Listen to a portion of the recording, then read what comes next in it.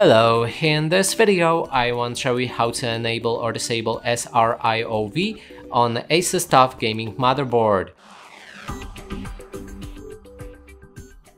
To do this, first we'll need to open advanced mode for the BIOS, navigate to advanced section. Then you'll be able to find PCI subsystem settings when you scroll down and here's SRIOV that we can enable or disable. And that's it for this video, hope you like it, please consider subscribing to our channel, leave a like and a comment below.